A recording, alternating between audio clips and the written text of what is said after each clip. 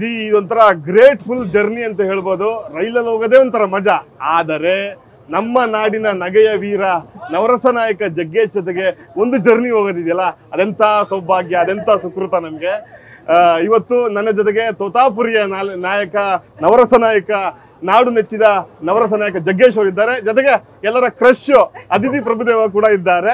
ಅವ್ರನ್ನ ಮಾತಾಡ್ಸೋಣ. ಸರ್ ನಿಜಕ್ಕೂ ನಮಗೊಂದು ಒಳ್ಳೆ ಒಂದು ಅನುಭವ ಕೊಟ್ಟಿದ್ದೀರಿ ಇವತ್ತು. ಪ್ರಚಾರನೂ ಹಿಂಗೂ ಮಾಡ್ಬೋದು ಅಂತ ಹೇಳಿ ಪ್ರಚಾರದಲ್ಲಿ ಕ್ರಿಯೇಟಿವಿಟಿ ಇದ್ದರೆ ಮಾತ್ರ ಜನ ತಲುಪೋದು. ಮತ್ತೊಂದು, ಜನರಿದ್ದ ಜಾಗಕ್ಕೆ ನಾವು ಬರಬೇಕು. ಆವಾಗ ಜನ ನಮ್ಮ ಹತ್ರ ಬರ್ತಾರೆ ಅನ್ನೋದು ಇದೊಂದು ಸಿಂಬಲ್ ಆಗಿ ಹೇಳ್ತಿದೆ, ನಂಗೆ ಅನಿಸ್ತಿದೆ. ಸರ್ ಹೇಳಿ ಸರ್ ಈ ತಾಟ್ ಬಂದಂಗೆ ಸರ್ ಇದು ರೈಲಲ್ಲಿ ಒಂದು ಜರ್ನಿ ಇದು ನಂದಲ್ಲ ತಾಟು ಇದು ನಮ್ಮ ನಿರ್ಮಾಪಕರು ಅವರು ಹೇಳ್ತಾ ಇದ್ರು. ನಾನು ಒಂದು ಟ್ರೈನ್ನೇ ನಮ್ಮ ಪೋಸ್ಟರಾಗಿ ಕನ್ವರ್ಟ್ ಮಾಡ್ತಾ ಇದ್ದೀನಿ ಅಂತ. ನನಗೆ ಭಾಳ ಖುಷಿ ಆಯಿತು. ಭಾಳ ಶ್ರಮಜೀವಿ ಆತ. ಆ್ಯಂಡ್ ಕನ್ನಡಕ್ಕೆ ತುಂಬ ಬಾಳಿಕೆ ಬರುವಂಥ ಒಂದು ನಿರ್ಮಾಪಕ. ನಾಲ್ಕು ವರ್ಷಗಳ ಕಾಲ ಈ ಚಿತ್ರ ನಾನಾ ಕಾರಣಕ್ಕೆ ಡಿಲೇ ಆಯಿತು. ಕೊರೋನಾಯಿಂದ ಎರಡು ವರ್ಷ, ಇನ್ನೊಂದು. ಬಟ್ ಭಾಳ ತಾಳ್ಮೆಯಿಂದ ಒಂದು ಒಳ್ಳೆ ಪ್ರಾಜೆಕ್ಟ್ ಇದೆ ನಂದು. ಈ ಪ್ರಾಜೆಕ್ಟ್ ಗೆಲ್ಲುತ್ತೆ.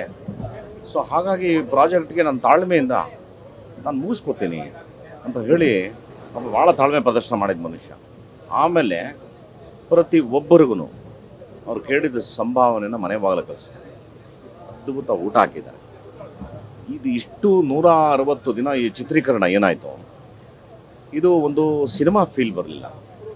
ಒಂದು ಫ್ಯಾಮಿಲಿ ಫೀಲ್ ಬಂತು. ನನಗೊಬ್ಬರು ಈಕೆ ನನ್ನ ಪರಿಚಯ ಇದ್ಲು. ಬೇರೆ ಅವ್ರ ಜೊತೆಲ್ಲ ನಾನು ಅಷ್ಟು ಆ್ಯಕ್ಟ್ ಮಾಡಿಲ್ಲ. ಇವಳು ತಂದೆ ಪಾತ್ರಧಾರಿ. ದತ್ತಣ್ಣ ಅವ್ರು ನನಗೆ ಪರಿಚಯ ಇದ್ದರು. ಓನ್ಲಿ ಫ್ಯೂ ಇನ್ನು ಮಿಕ್ಕಿದವರೆಲ್ಲ ಹೊಸ್ದಾಗಿ ಬಂದರು, ಆದರೆ ನನಗೆ ತುಂಬ ಹಳುವರಾಗೋದು ಯಾಕಂದರೆ ಈ ಪಾತ್ರ ಅಷ್ಟು ಬೆಸಿತಾ ಹೋಯಿತು. ನನ್ನ ಕಾನ್ಸೆಪ್ಟ್ ಏನು ಅಂದರೆ, ನನಗೆ ಯಾವ ಫೀಲ್ ಬಂದಿದೆ, ಇದೇ ಫೀಲು ಜನರಿಗೂ ಬರಬೇಕು. ಈ ದೇಶ ಎಂಥ ಬ್ಯೂಟಿಫುಲ್ ದೇಶ ಇದು ಅಂದರೆ, ಎಲ್ಲರೂ ಸುಭಿಕ್ಷವಾಗಿ, ಆನಂದವಾಗಿ, ಸಂತೋಷವಾಗಿ ಬಾಳ್ವೆ ಮಾಡ್ಬೋದು. ಬಟ್ ನಾವೆಲ್ಲ ಏನು ತಪ್ಪು ಮಾಡ್ತಾ ಇದ್ದೀವಿ ಅಂದರೆ, ಜಾತಿಗಳ ಕೂಪಕ್ಕೆ ಬಲಿಯಾಗ್ಬಿಟ್ಟಿದ್ದೀವಿ ನಾನು ಆ ಜಾತಿ, ನೀನು ಈ ಜಾತಿ ಅಂತ ಹೇಳಿಕೊಂಡು ನಾವೆಲ್ಲ ಕುಬ್ಜರು ಆಗ್ತಾ ಇದ್ದೀವಿ. ಬಟ್ ನಂಗೆ ತುಂಬ ಖುಷಿ ಏನಂದರೆ ಈ ಚಿತ್ರ ಜಾತಿಯ ವ್ಯವಸ್ಥೆನೇ ಬೇಡ. ಹಾಗೆ ಬದುಕೋಣ, ಎಷ್ಟು ಚೆನ್ನಾಗಿರುತ್ತೆ ಎಂಥ ಬ್ಯೂಟಿಫುಲ್ ಜರ್ನಿ ಇರುತ್ತೆ. ನೀವು ಉದಾಹರಣೆಗೆ ನಾವು ಈ ಟ್ರೈನಲ್ಲಿ ಜರ್ನಿ ಮಾಡ್ತಾ ಇದ್ದೀವಿ.